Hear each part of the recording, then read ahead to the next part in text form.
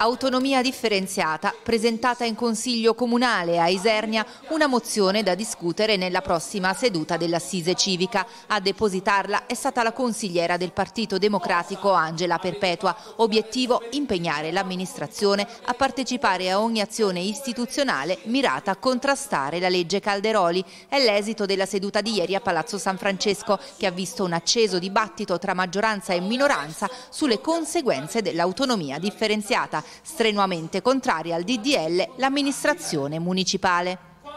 Riteniamo che questo disegno di legge vada ad aumentare semplicemente le disparità tra le regioni più ricche e quelle eh, più povere, aumentando quindi eh, l'inequità tra appunto le regioni del nord e quelle del sud, eh, impoverendo quindi ter territori come il nostro, come la nostra regione che già eh, soffre di mh, forti carenze in ambiti strategici come quelli della sanità, del, dell'istruzione e delle infrastrutture. Riteniamo fortemente quindi che questo eh, disegno di legge così com'è non possa essere portato avanti e quindi eh, cercheremo in tutti i modi di impegnare anche il governo regionale, locale, eh, così come hanno fatto altri governatori di centrodestra, a opporsi opporsi anche loro a questa riforma.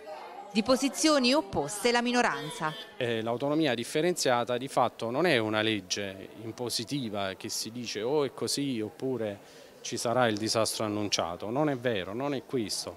Questa legge eh, di fatto getta le basi e pone proprio delle regole per far sì che una regione, quale essa sia della eh, nazione possa chiedere eh, di poter gestire in autonomia un determinato servizio essenziale, cosiddetti LEP, che di fatto oggi in alcune parti d'Italia già è presente e già si fa, però di fatto manca anche un regolamento, quindi questa legge va anche a dare un regolamento. Per poter accedere all'autonomia differenziata ovviamente ogni regione deve fare un'espressa richiesta al Parlamento che eh, a sua volta si fanno delle verifiche eh, non di poco conto